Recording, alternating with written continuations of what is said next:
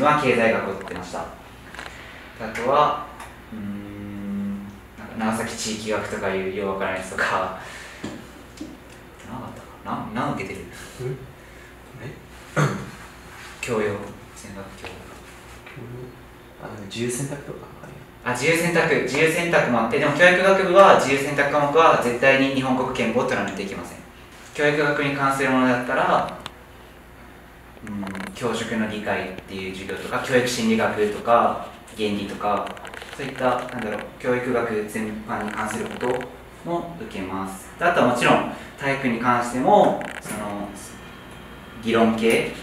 運動生理学だったりとかそういったのも勉強します。頑張ってください。キャプテン質問？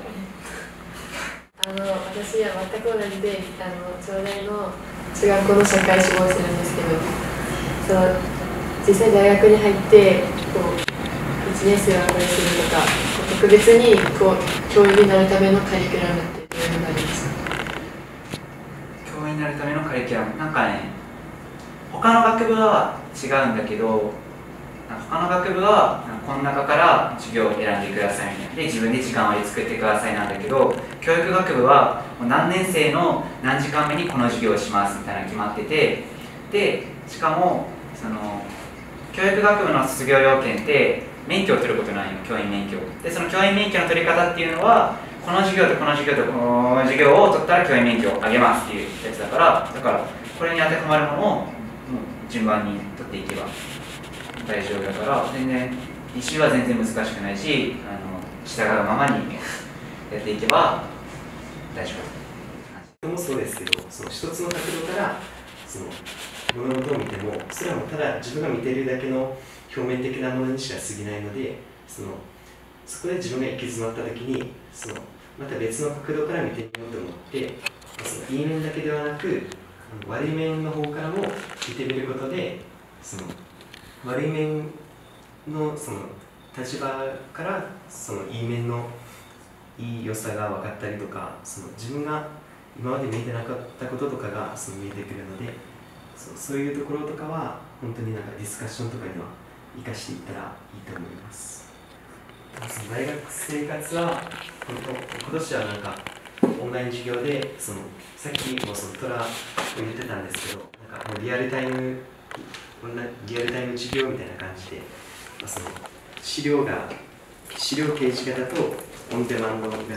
あとリアルタイムっていうのがあってで、まあ、そのなんか資料掲示型とかはその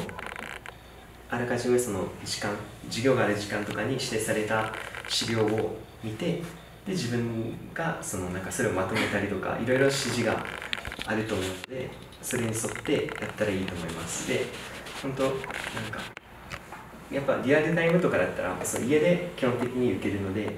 結構やっぱ気が緩んでしまったりとかする人も出てきてそのなんか結構寝坊したりとかする人もいてでその自分もちょっと一回やらかしたんですけど あのまあ自分結構そのアラームとかめっちゃかける派なんですけど結構慎重な。んででかけもう多分10個ぐらいかけておいて。でそうですよ。でその授業が始まる30分前に起きてでまだあと30分までなと思ってでもうちょっと寝ようと思ってで一回ま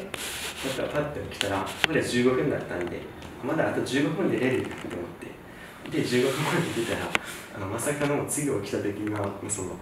5分5分ぐらいでオーバーしてて授業開始時間が。でもう急いでもうそのパソコンを開いてその授業を受けたっていうのがあるんでそこら辺はなんかもう本当受験にも共通することなんです。けどなんかそれバカやった 気を抜かずにしっかりと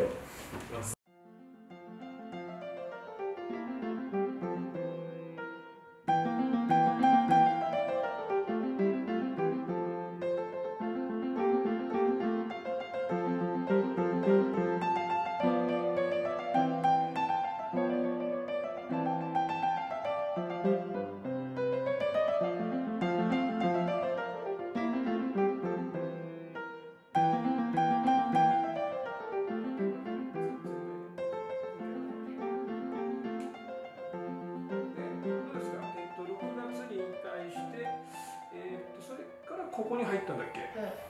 7月ぐらい7月ぐらいです。7月ぐらいからか。うんでどうですか成績伸びましたか？思いました。え。ー